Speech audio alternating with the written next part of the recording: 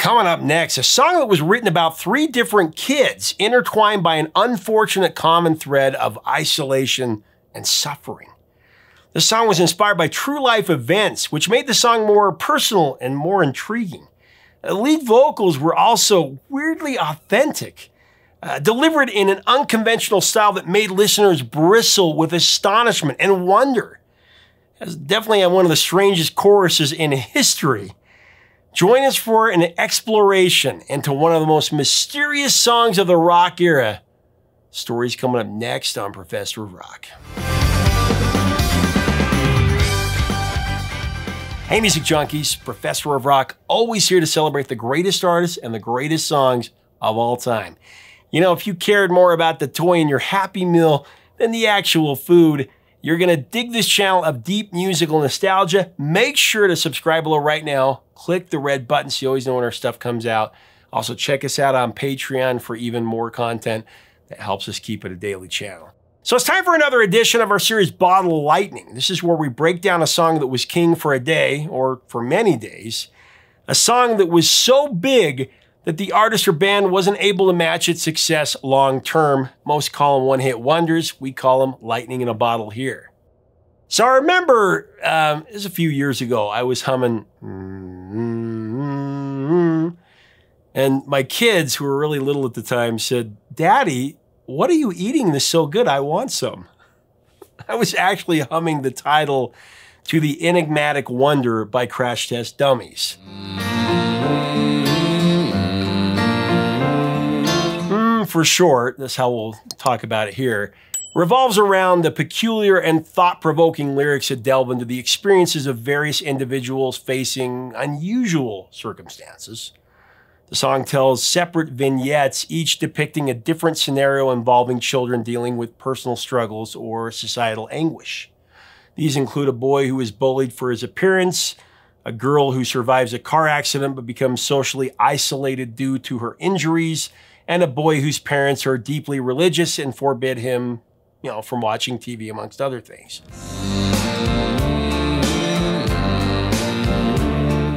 Let's put it under the microscope so you get what I'm talking about. In the frosty Canadian city of Winnipeg, amidst the endless winters and boundless prairies, a group of musicians came together under an unlikely moniker, Crash Test Dummies. Lead singer Brad Roberts, initially pursuing a path in academia as a student of English literature, uh, he found himself drawn to the allure of music, live music especially. You wouldn't have predicted that music would have become a serious career choice for Brad at first, since the name of his band before Crash Test Dummies was Bad Brad Roberts and the St. James Rhythm Pigs. That must have been a nightmare to put on a marquee in Winnipeg. Uh, the, specifically Winnipeg's Blue Note Cafe. While CTD started as a cover group, Brad, armed with a guitar and a passion for songwriting, he remained hesitant to take up the mantle of lead vocals. He was another artist that you know we've discovered had serious doubts about the quality of his voice. And Brad was convinced his voice lacked the charm to be a lead singer. Just so happened that his unique baritone was the main reason why the Crash Test Dummies were discovered and signed to a label deal. I mean, you don't forget that voice.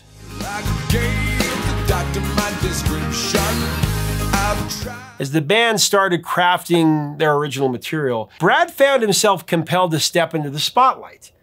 Despite his reservations, he realized that his distinct delivery was crucial to breathe life into their song compositions.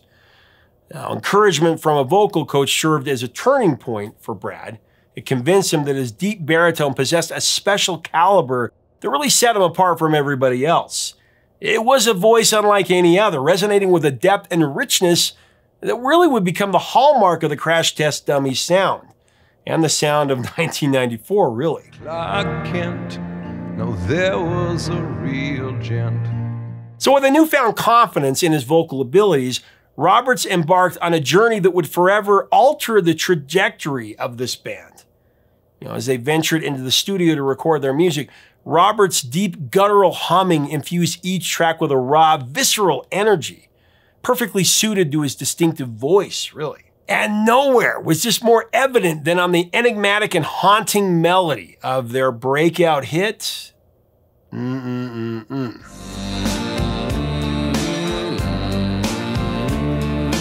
So it was in those early days of this band that Brad's mind stirred with a rhythm, a whisper of music dancing amidst the silence. Without hesitation, he committed the fleeting melody to paper, meticulously crafting lyrics that adhered to a rigid structure. Each verse comprised four syllables per line, uh, with the chorus flowing with a gentle cadence of six syllables. Attention to detail was critically important. Every second syllable bore the weight of stress, infusing each word with a deliberate rhythm. It was a meticulous process for sure, ensuring that the lyrical narration unfolded with precision and purpose. The creative process was the genesis of his signature song. Got into an accident and got and come to school, but mm, is a brilliant rock trilogy. It's composed of three verses that are intersected from various experiences that had a profound impact on Brad when he was a child. So let's get into chapter one. Once there was this kid who... The kid that Brad sings about in the first verse of the song was crafted from a blend of real life events. You see, Brad experienced two serious car accidents during his youth. Uh, this left him with a lingering fascination for car crashes. However, as time passed, the trauma started to fade, allowing Brad to detach himself from the painful memories. By the time he penned, mm, uh, he had shifted his perspective, transforming his own experiences into a narrative told from a third person viewpoint. He said that it was from when the cars had smashed. This enabled him to adopt the role of a storyteller rather than reliving this past in an autobiographical manner. So Another true event that inspired the first verse came from a gripping news story about a man involved in a near fatal boating accident in Niagara Falls. Uh, so this man's vessel veered dangerously close to the edge of the falls, uh, sparking a moment of sheer panic as he realized uh, the impending danger that awaited him. Amazingly, the boat managed to steer away from the brink just in time but not before the man's hair had turned stark white from the frightening near death experience. It's actually a phenomenon called canities subita, which is Latin for sudden graying of hair, where a person's hair can change from a dark to a light color as a result of uh, enduring uh, severe distress.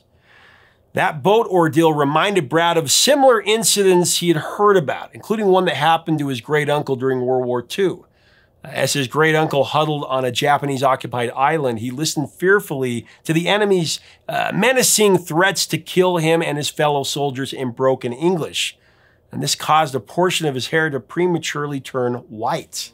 Hair had turned from black into bright white. While these stories didn't directly inspire the song, they definitely contributed to Brad's portrayal of a young boy with a distinctive feature in Brad's childhood experience, being different often led to being targeted for mistreatment, um, for bullying, for ridicule.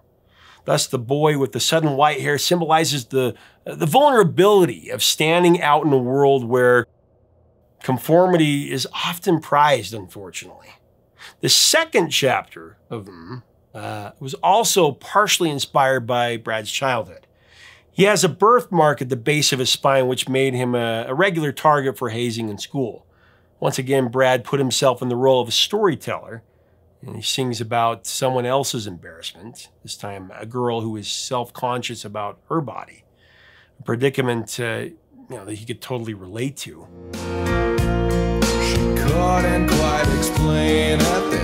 Once there was this girl who wouldn't go in and change with the girls in the change room. But then they finally made her. They saw birthmarks all over her body.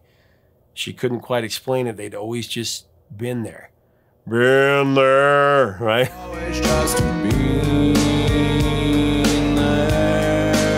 Now, as we get into the third verse, I want to thank our sponsor, Zenni Eyewear.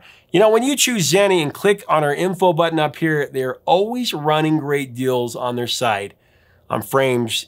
You choose your color, your shape, your size. Do it today for up to 80% off regular retail prices.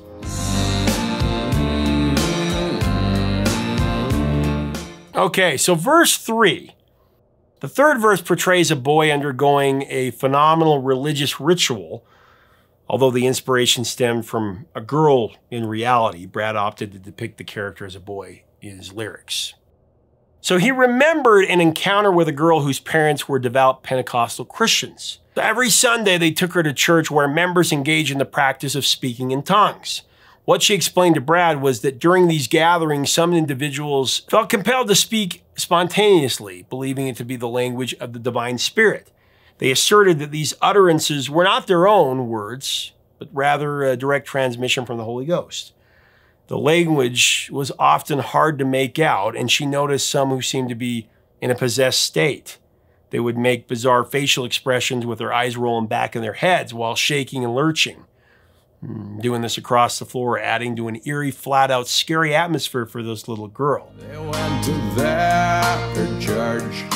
They Witnessing this ritual, it was unsettling. Um, and as her parents, whom she relied on for guidance, appeared to undergo a sudden transformation. As a child, she told Brad that she found the experience terrifying.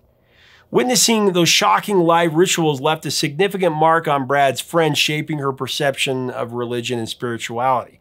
Again, this is her experience. Brad captures the intensity of this experience in mm, highlighting the profound impact this experience had on his friend.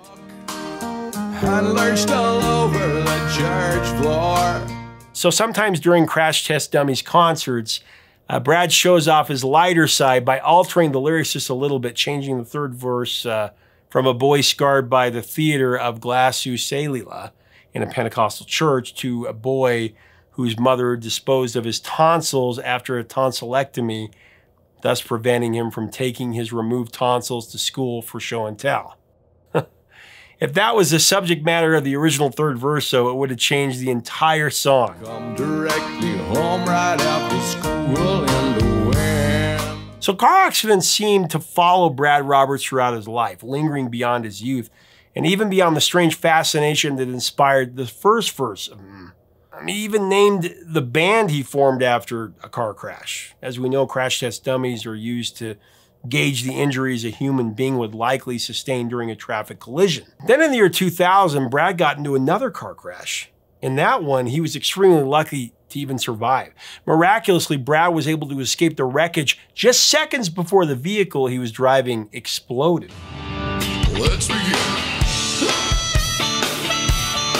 Back in 93, Crash Test Dummies, the quintet featured Benjamin Darvill on harmonica and mandolin, Ellen Reid on piano, accordion and backing vocals, Michael Dorge on drums, and uh, of course, Brad Roberts filled the roles of frontman, lead guitarist, and lead singer. Brad's brother Dan handled bass and teamed up with Ellen to support his brother's vocals.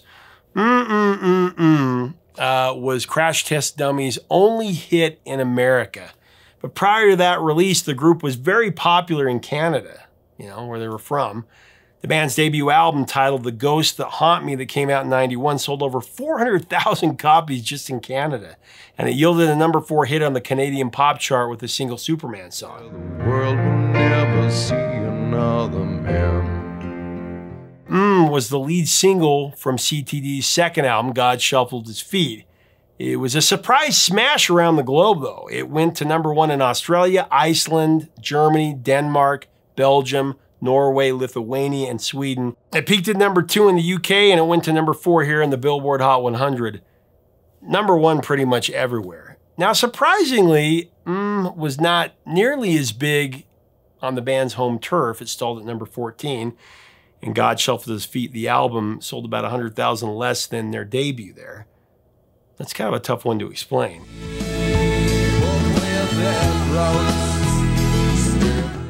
It was their only top 40 hit in America, like I said. Superman's song stalled at number 56 here. But the album sold over 2 million copies in America alone. Uh, this song was so big that, of course, Weird Al had to take his bite out of it. And it was brilliant, I must say. Headline News was the lead-off single for the compilation box set Permanent Record, Al in the Box.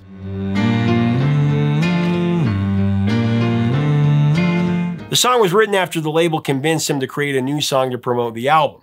I'll combine the music of the Crash Test Dummy songs with uh, three news stories that were popular in late 93 and early 94. And uh, of course, the same year it was used in Dumb and Dumber, the blockbuster. I guess I forgot that you never ever make a mistake. The fervor created by mm led to high acclaim for Crash Test Dummies in 94. The song was nominated for the Grammy Award for Best Pop Performance by a Duo or Group with a Vocal. And even though they've been a unit for more than six years at this point, they were also nominated for Best New Artist at the 94 Grammys. Now, the award in that category went to an emerging artist from the small town of Kennett, Missouri, Sheryl Crow, just put in the Hall of Fame last year.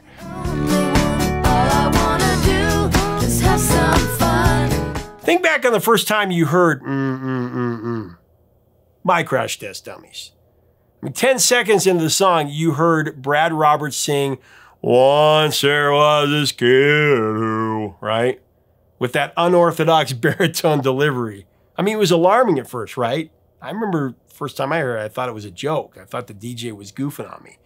But as the song moves along, Brad's voice becomes strangely mesmerizing and comforting even. During Brad's narrative of the story of three troubled kids, you feel like you're right there in the middle of the drama. It's very haunting. I, for one, wanted to reach out and pull those kids close to me and put them into a protective force field to shield them from further anguish. It's just a song that gives you a strange but satisfying feeling.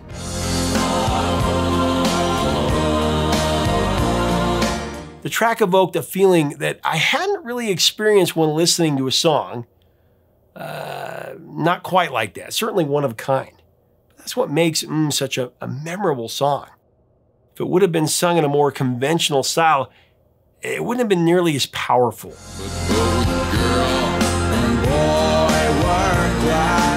I also love the ah effect in the song's coda, with all three vocalists singing in angelic harmony as if they're you know, opening the gates of heaven.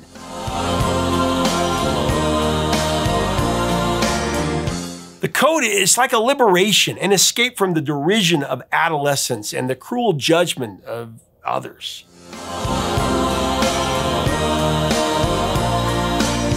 Each of the three kids that Brad Roberts sings about in mm, mm, mm it's like they're now free to put the past behind them, not allowing the awkwardness of their youth to crush their hopes of finding uh, fulfillment and happiness and joy. There is no assignment of blame or explanation. It's just the way things were. Ultimately, the joy of freedom, it's theirs for the taking. Mm-hmm.